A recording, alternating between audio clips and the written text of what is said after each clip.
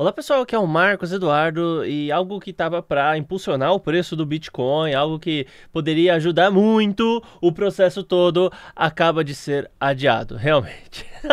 Mas vamos comentar sobre isso, se inscreva no canal, ative o sino das notificações e deixe um like no vídeo, isso ajuda bastante.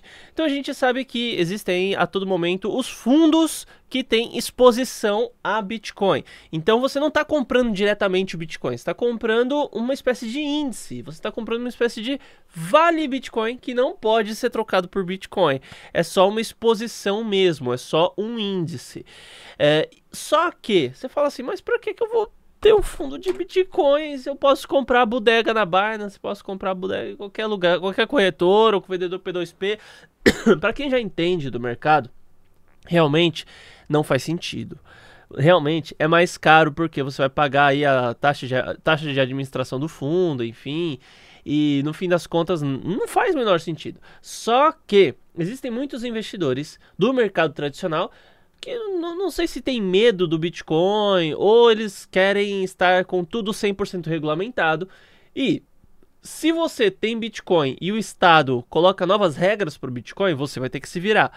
Só que se você contrata o, uma empresa que, a, que mantém Bitcoin para você ou que na verdade, a, a, as empresas que trabalham com fundo de investimento nem mantêm Bitcoin, elas ainda contratam o serviço de uma outra empresa que vai custodiar esses Bitcoins, vai, vai guardar esses Bitcoins.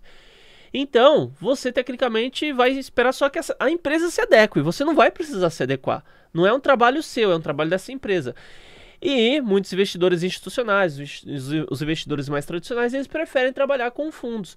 Só que até então, a gente não tinha nenhum fundo direto de Bitcoin que fosse uma exposição direta, ou seja, é, uma cota desse fundo ou algo assim seria equivalente a exatamente um Bitcoin. A gente tinha é, fundos de Bitcoin com contratos futuros, com outras modalidades que tinham uma conexão com o Bitcoin. E a SEC, que é a Comissão de Valores Imobiliários norte-americana, né, o órgão regu regulamentador lá da gringa, eles estavam aí é, avaliando uma possibilidade da aprovação de um fundo, né? Eles sempre, sempre ficam nessa de chove, não molha, chove, não molha. E agora que aconteceu, né? O que aconteceu? SEC dos Estados Unidos adia a decisão sobre ETFs de Bitcoin à vista da BlackRock, Invesco e Bitwise. Né? Ou seja, tinham três empresas solicitando e eles adiaram as três.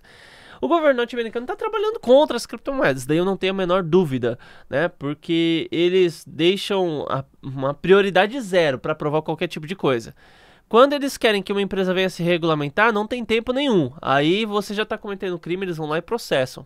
Dane-se, tá ligado? Não, não existe um, um, tempo para a empresa é, pensar e se organizar em relação a Bitcoin, criptomoedas e tudo mais. Agora, quando é para ele tomar alguma decisão, aí ele adia à vontade, demora o tempo que quiser. Né? É o típico governo sendo governo, Estado sendo Estado. E a gente sabe que o Bitcoin ele é a descentralização, né? A personificação da descentralização, ou seja, o extremo oposto do que o Estado é. O Estado ele tem lá a moeda centralizada, que ele pode imprimir quanto ele quiser, ele pode ele pode ver quanto dinheiro as pessoas têm na conta, ele pode tirar ou bloquear o dinheiro de alguém. Agora, quando você tem Bitcoin, cara, é um risco muito grande pro, pro governo. Por quê? É, você pode auditar todo o Bitcoin. Quando é moeda do Estado, você não pode auditar. Você tem que confiar no, no, Estado. Quando é o seu Bitcoin, você pode auditar. Você vai ter um determinado grau de anonimato que vai impedir que o Estado ele veja quanto dinheiro você tem na conta. É, muito menos bloquear seu dinheiro ele não vai, não vai conseguir e tirar o dinheiro da conta também não. Então os caras ficam desesperados, bate um frio na barriga e eles tomam esse tipo de atitude aí, diga-se de passagem, atitude de merda, né? Então com isso a gente vê que o Bitcoin ele sofre um atraso, né? A valorização dá uma retida quando esse tipo de coisa acontece.